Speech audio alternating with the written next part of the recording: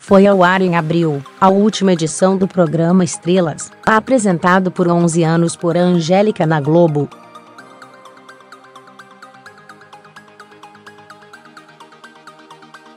No programa, que contou com a participação de Lília Cabral e Fátima Bernardes, a mulher de Luciano que se emocionou e caiu no choro em discurso final emocionante,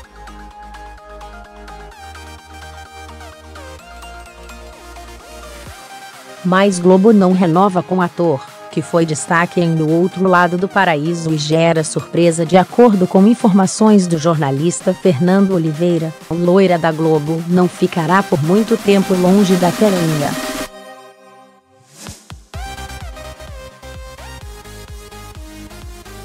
A direção do canal já prepara o retorno da mulher de Luciano Huck e marcou a data de estreia do novo programa, que é STA Acento Agudo previsto para setembro desse ano.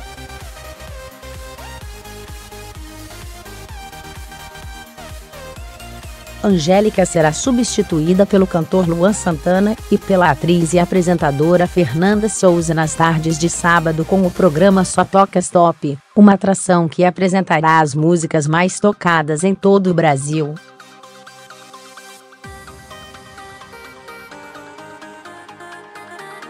Se você pensa que Angélica está inconformada com o fim do programa, essa está muito enganado.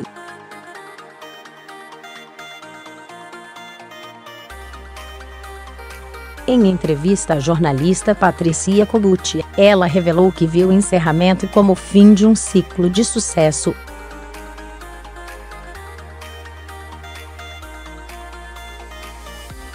Mais namorado de Sasha, Bruno Montaleone muda o visual e estará em nova novela na Globo foi muito emocionante.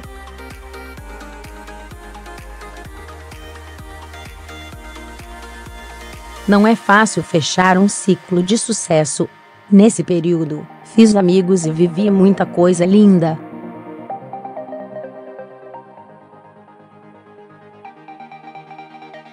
Achei que estava super preparada para a despedida, mas o choro veio fácil. Já tenho saudades, mas também a sensação de que encerramos na hora CRTA, disse.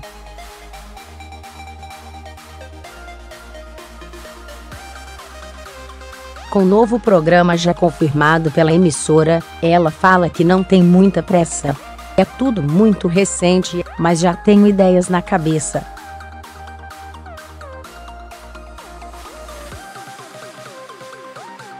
Não tenho pressa e me sinto renovada com as mudanças que virão. Os telespectadores me viram crescer e acompanharam todas as mudanças, tanto da minha vida profissional quanto da pessoal.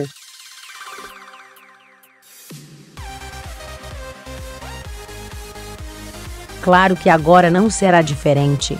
Hoje sou mãe de três filhos, uma mulher madura e consciente do meu papel no mundo.